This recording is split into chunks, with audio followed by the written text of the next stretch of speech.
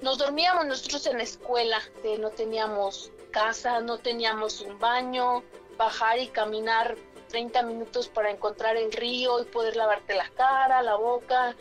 Y si les preguntas a cualquiera de las compañeras te van a decir, yo fui a la Sierra de Puebla, yo a la de Querétaro, yo a la de qué, a mí me tocaron ocho horas en burro, a mí me tocó pasar un arroyo. Puesto que los maestros que nos formaron la normal siempre nos estuvieron inyectando esos ideales, ir a servir a la patria en cualquier lugar, sierra, río, ranchería donde nos tocaba. Todo es México, estamos en diferentes lugares, somos una sola. Un normalista tiene un nivel académico alto de preparación, pero a la vez tiene la capacidad de bajar al, al nivel del niño para entenderse. Te enseñan a ti, pues a ser un líder cierta, de cierta forma en, en las comunidades y ahí te das cuenta cómo es bien difícil que un niño realmente tenga las condiciones aptas para ir a una escuela y más que para ir a una escuela para poder aprender.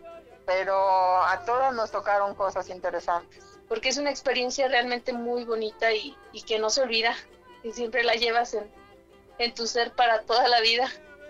Ante todo soy egresada de la querida Escuela Normal Rural Justo Sierra Méndez de Cañada Honda, Aguascalientes, hace 53 años y actualmente soy maestra jubilada. Acabo de cumplir 61 años.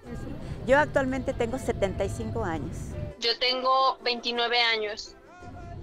Cañada vive, la lucha sigue.